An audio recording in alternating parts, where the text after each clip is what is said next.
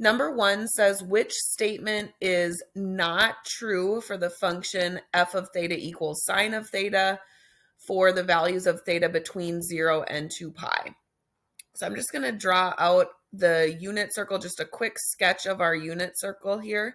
Um, and I'm going to draw on just these quadrantal points that we can look at.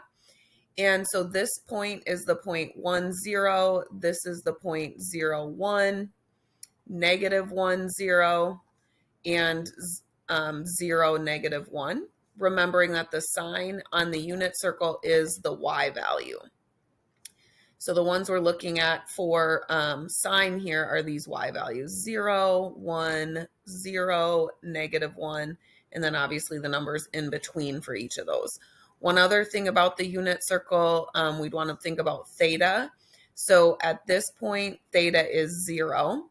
Okay, right here, this is the angle theta equals um, pi over 2. Here is theta equals pi radians. And then here, theta equals 3 pi over 2 radians. Then we can also look at this um, as a graph of sine. So we could look at it here. So sine at 0 is 0. Pi over 2, it's at 1. Pi, it's at 0. 3 pi over 2, it's at negative 1. And then 2 pi, it's back to 0 and then we can connect that with a curve. So that's what one cycle or one period of the sine function looks like. So the outputs of the function range from negative 1 to 1. That's true. So sine is between negative 1 and 1, and we are looking for the not true one. Um, sine of theta is 1 only when theta equals pi over 2. And so here's the value where sine is 1, and that is at pi over 2, and that is the only time that happens from 0 to pi. So this one um, is true. C um, theta equals, uh, sine of theta equals 0 only when theta is 0. So sine of 0 is 0. That's very true but sine of pi is also zero and sine of 2 pi is also zero. So this is not the only time when this happens. This also happens at theta equals um, pi and 2 pi. And I'm not sure. I think I said pi for this one, but this is pi.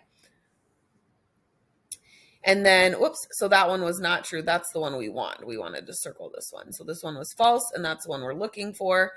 And then part D says that sine um, is greater than zero whoops, for the angle zero to pi. So from zero to pi, the function is greater than zero, and that's true.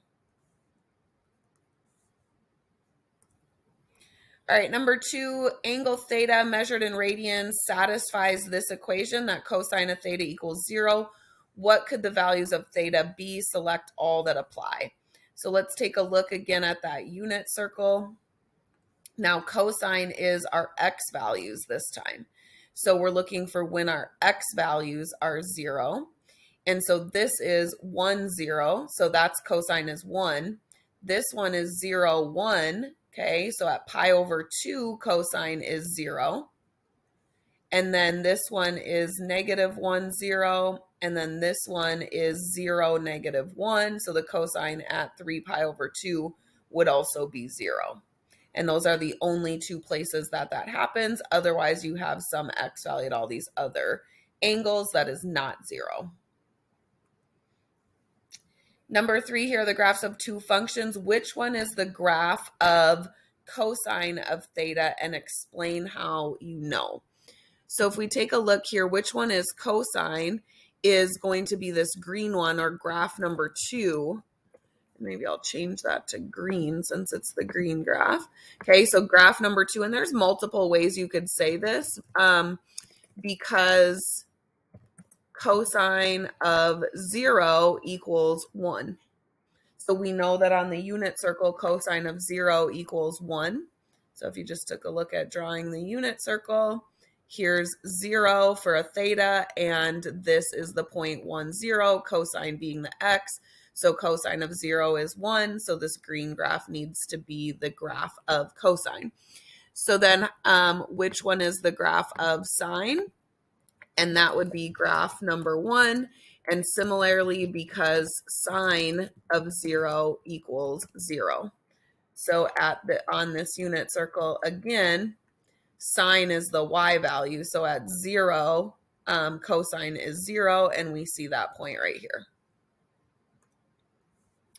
Number four, which statements are true for both functions of cosine and sine? Select all that apply. So it needs to be true for both. So true for both. So the function is periodic. Yes, that's true for both. The maximum value is one. Yes. So in here, cosine starts at its maximum value. Sine gets to it right here, but they both have a max at one. So this is true. The maximum value occurs at theta equals zero. Well, that happens for cosine at theta equals zero, which is right here on the y-axis. Cosine is at its max, but sine is not. So this is only true for cosine. The period of the function is 2 pi, yes, for both of them. The function has a value of 0.71 at pi over 4. So this is true for both of them. So at pi over 4, so here's pi over 4, both functions are at 0.71. So this is true. Are both functions 0.71 at 3 pi over 4? So at 3 pi over 4, um, sine is 0.71, but cosine is negative 0.71. So this is false. So um, cosine of 3 pi over 4 equals negative 0.71. Number five, here's the graph of a function f. The function is either defined by cosine squared plus sine squared or cosine squared minus sine squared. Which one is correct? So there's a lot of different ways that you could explain this, but we know that cosine squared um, plus sine squared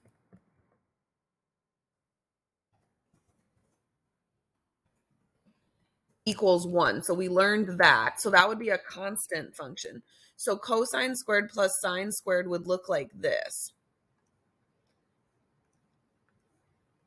So this would be the cosine squared plus sine squared graph. It would just be a straight line at 1. And so that's not our function here. So we know that it has to be the other option since they only gave us two options. So that's one way you could explain it. Okay, that you know that sine squared plus cosine squared always has to equal 1. Another way you could explain it is like if you look at an angle.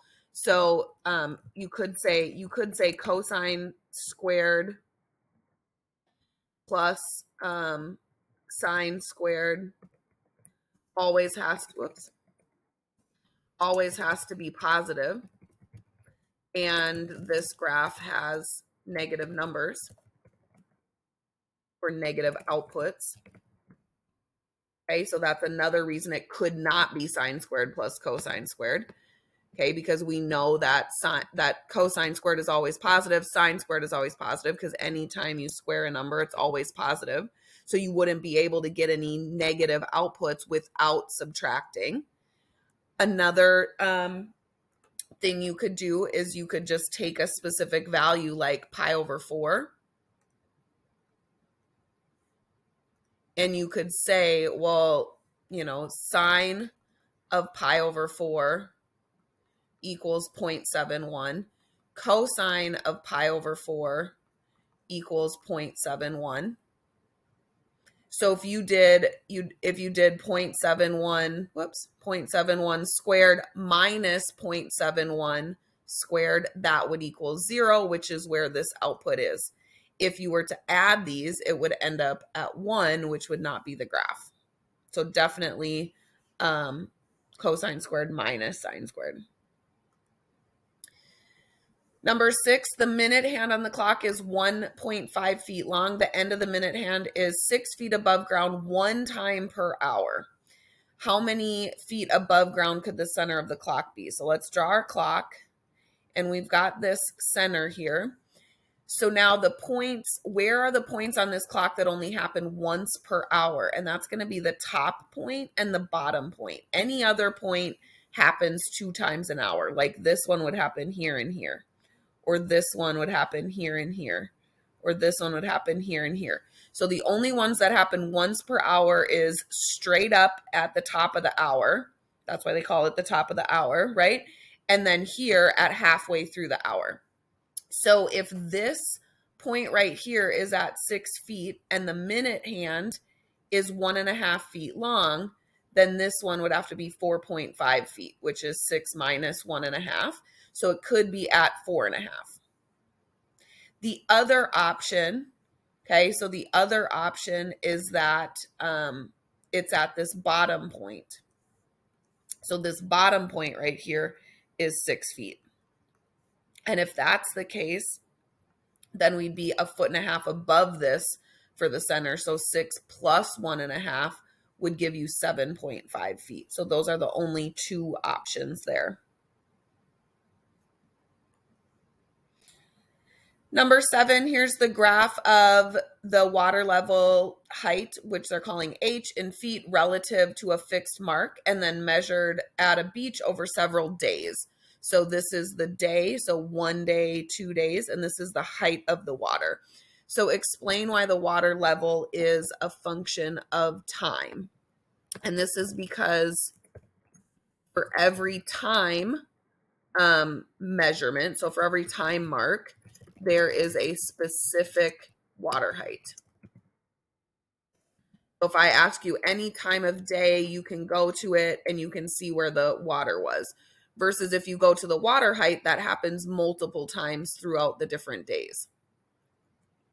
So describe how the water level varies each day. And the water level varies each day.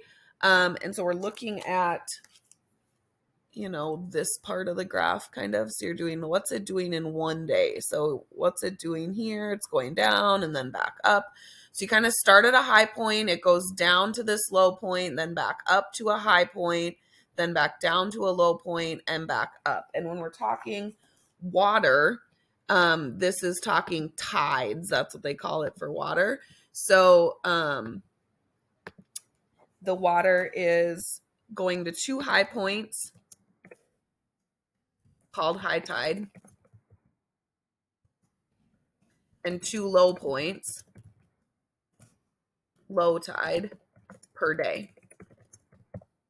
We're basically going through its cycle twice um, each day.